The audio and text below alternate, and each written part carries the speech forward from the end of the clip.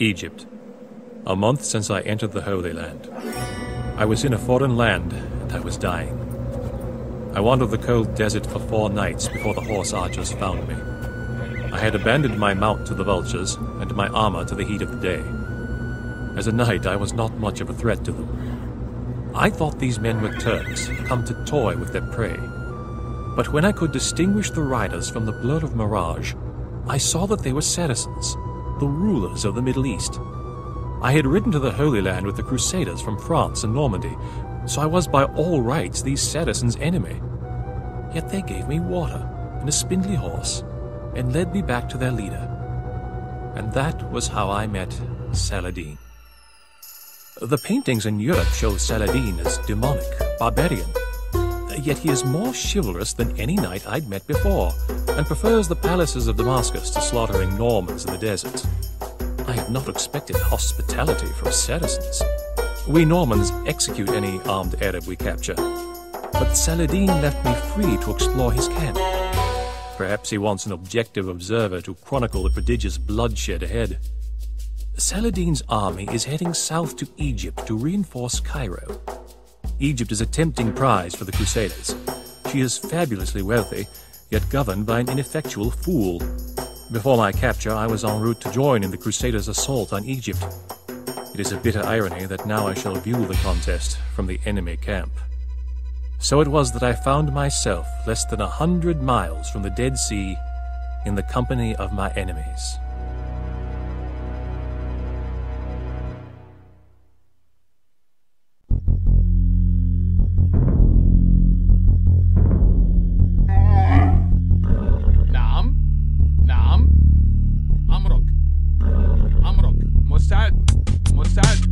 The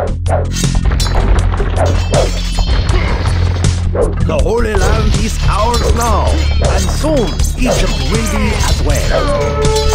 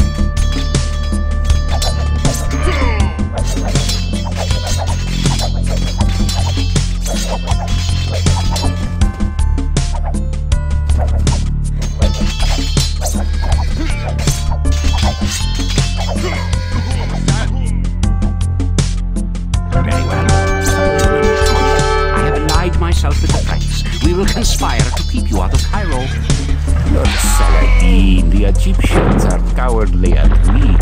If we station troops near their main mosque, they will surely surrender.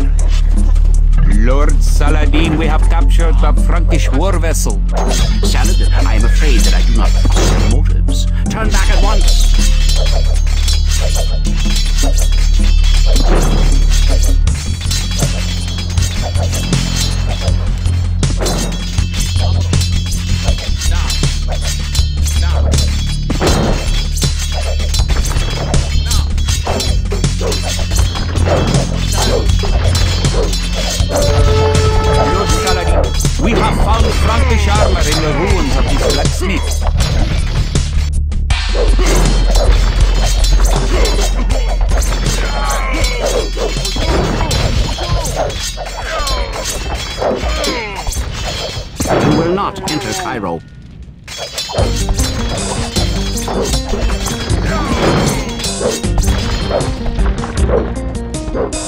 Thank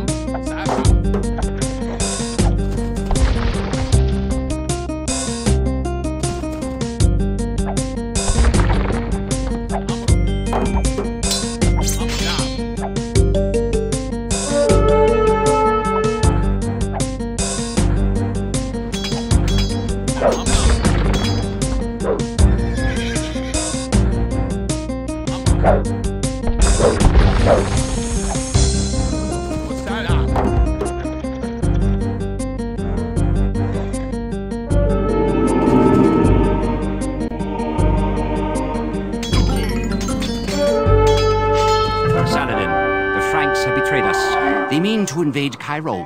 We were wrong not to trust our fellow Saracens. Please, these troops are yours to command. Just defeat the treacherous Franks.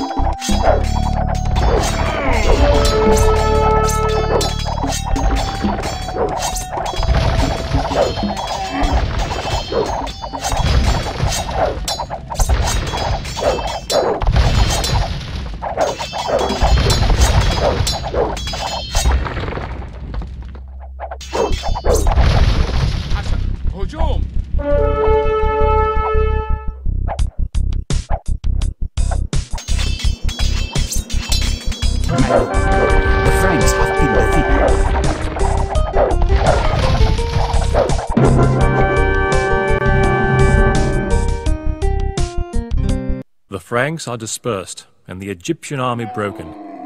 Saladin has taken his place as governor of the Nile. Any European king would seize this opportunity to eliminate his political enemies. Saladin, however, allowed any Egyptian opposed to his rule to leave the city unharmed. Saladin has set out to win over the population. In Cairo, he built mosques and palaces, universities and hospitals. My own countrymen, the sons of Europe, showed naught but treachery, while the Saracens worked to dignify their civilization. It is a troubling turn of events, and I have difficulty sleeping.